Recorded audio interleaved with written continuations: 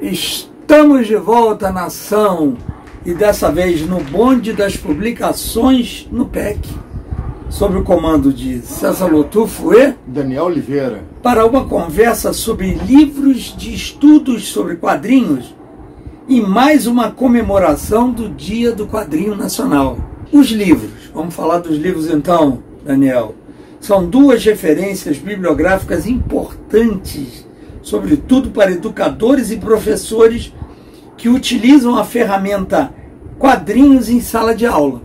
As publicações referem-se como título O Saber em Quadrinhos, Pesquisa, Práticas e Produção de Conhecimento. Então são duas obras de referência organizadas pelo professor Nathaniel Gomes e pela professora Sabrina Brésio. Os conteúdos registrados nas referidas obras resultam de apresentações de pesquisadores que atuam em território nacional e isso foi discutido no sexto Fórum Nacional de Pesquisadores em Arte Sequencial.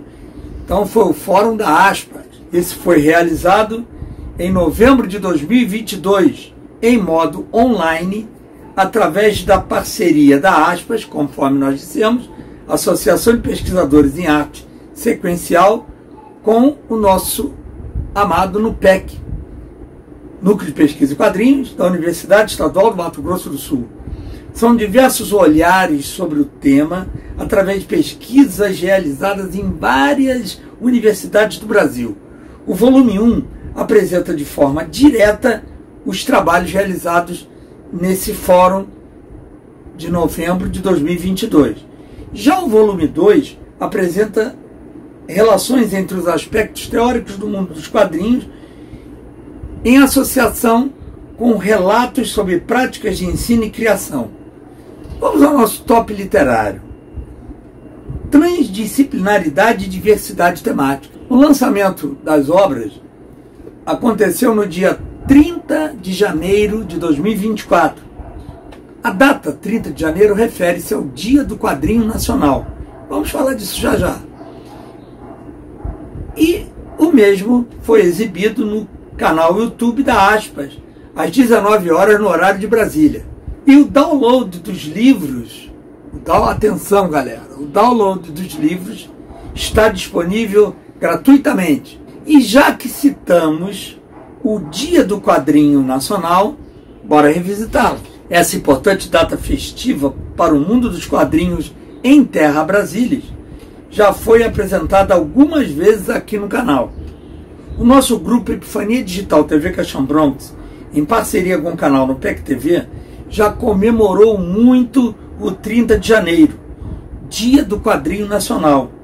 Dessa data, em 1869, 1869, o italiano radicado no Brasil, Angelo Agostini, que vivia na corte do imperador Dom Pedro II no Rio de Janeiro, lançou a sua obra quadrinizada As Aventuras de Inhoquim. A obra, a obra do, do Angelo Agostini, a obra em quadrinhos, trata dos relatos de um jovem caipira de 20 anos sobre a vida na corte do imperador. Lembramos que a famosa HQ Yellow Kid, de autoria de Outcalt, só foi publicada, só seria publicada em 1895 e 1896, lá nos Estados Unidos. Então, sempre os norte-americanos querendo o pioneirismo das coisas.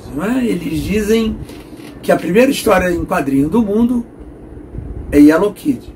E, na verdade, não. As Aventuras de Joaquim, aqui no Brasil, Remember Santos Dumont e os irmãos Wright e a disputa pela invenção do avião que afinal de contas é do Brasil. Salve Galvão Bueno. Mais um clichê. Vale lembrar que a revista Nona Arte, da Escola de Comunicações e Artes, lançou um artigo muito elogiado em 26 de janeiro de 2022, de autoria dos professores César Lotufo, Andrés Marra, Luciano Filizola e Nathaniel Gomes intitulado As Aventuras de Inhoquim, o marco histórico dos quadrinhos. Nós já apresentamos essa matéria no canal, inclusive.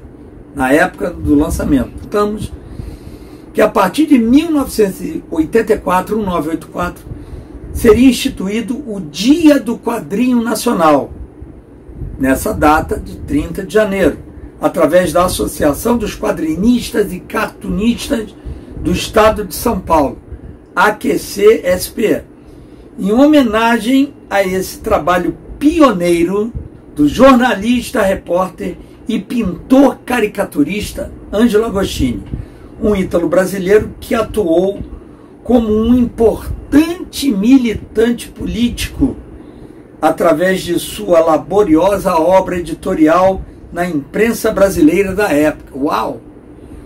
Já havíamos falado isso também com mais detalhes, só um lembrete.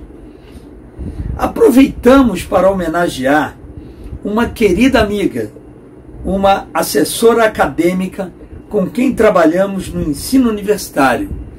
É a nossa, a nossa querida mesmo, queridíssima amiga Dirce Lunardelli, que sempre parabeniza a galera que atua no mundo dos quadrinhos no 30 de janeiro. E o mais importante, a Dirce sempre acreditou no nosso potencial e no nosso trabalho aqui no canal. Tô até caramba, emocionado. Fiquei emocionado. Então, queridas pessoas amigas, gostaram dessa apresentação? Então curtam, comentem e divulguem o nosso trabalho em suas redes sociais. Lembramos que essas matérias sobre educação em quadrinhos vocês só assistem nesse melhor canal acadêmico do YouTube e também no Facebook, no Instagram e no TikTok. Hora de dar tchau, Dani.